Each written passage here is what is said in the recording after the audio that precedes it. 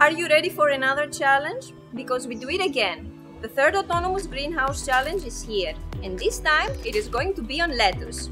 First, let's have a look on the roadmap so far.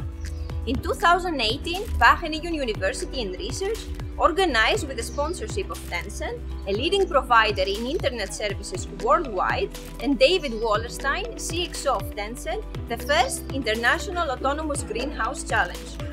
First edition was done on cucumbers, where we had one team outperforming the human reference. The second edition was done on cherry tomatoes, where we see that all the teams outperformed the manual human reference greenhouse. We are working intensively and we are ready to host the third international competition. We have recently completed our experiments in collecting useful greenhouse climate and crop data, as well as images that will be used for the phases of this year's challenge. You may ask yourself, why lettuce? Well, that is the best part. This time, everything must be autonomous.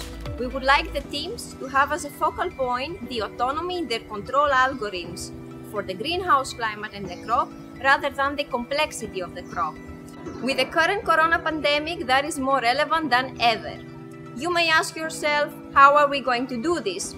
In contrast to the previous edition, this challenge has three phases. In the first phase, teams of machine learning and computer vision experts will have the opportunity to prove their potential in an online hackathon that will take place in June. The online hackathon will have two phases, two parts. In the first part, images of lettuces will need to be annotated. For that, you will receive training images to prepare your algorithms and the performance of the algorithms will be tested of course in a set of test images that will be unseen for you.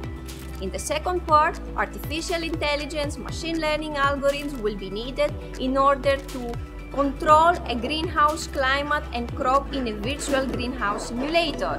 The winning team will have the opportunity to get a wildcard to the actual challenge as well as a prize money with the second and the third best ranking teams.